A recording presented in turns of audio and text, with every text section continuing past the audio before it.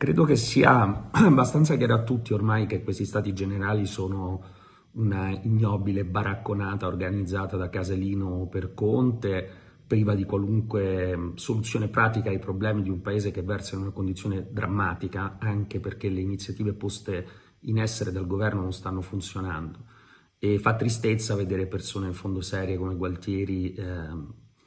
come posso dire, far parte di questo circo Barnum eh, e coinvolgere personalità internazionali in questa, in questa roba che non si sa neanche bene cos'è, dove i ministri invece di incontrarsi a Palazzo Chigi e decidere sulle tante cose, dalla scuola alle garanzie che non stanno funzionando, si, si collegano con, con importanti personalità internazionali, ognuna delle quali fa dieci minuti di discorso di cui sostanzialmente non, non emerge nulla, come ovviamente non potrebbe emergere nulla. E, ehm, però tutto questo potremmo anche tollerarlo, in fondo non è la prima volta che in Italia si fanno baracconate simili, non è la prima volta che si cerca di distrarre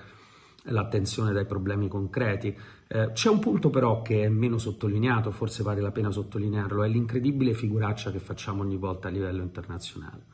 Cioè l'idea che invece di essere un paese serio, un paese che va in Europa e dice questo è il nostro piano, eh, per l'uso del Recovery Fund, per l'uso del MES, per l'uso dei 6 miliardi e 700 milioni di fondi strutturali che dall'inizio della crisi languono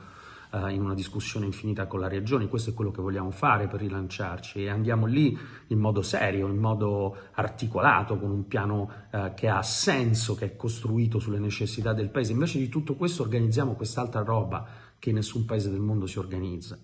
in una villa, con, con, Casalino uh, che fa uscire i pizzini per i giornalisti in cui dicono quanto è brava l'Italia, una roba indegna. Noi pensiamo che questo non conti niente in fondo perché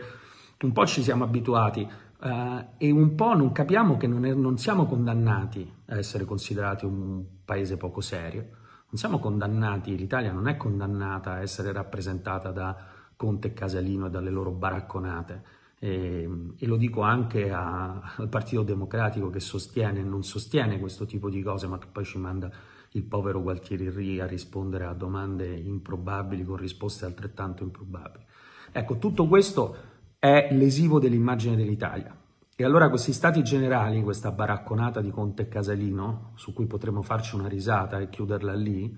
eh, diventano invece gravi, perché l'Italia, come tutti i grandi paesi, vive della propria immagine e spesso la propria immagine è danneggiata proprio da questo tipo di atteggiamento parolaio e poco serio.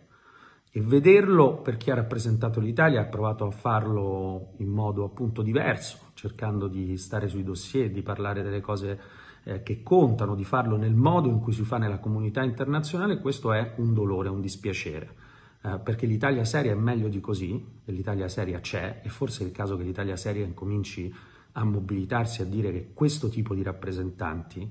beh, non è degno di, essere, eh, di parlare la, per, per noi a livello internazionale.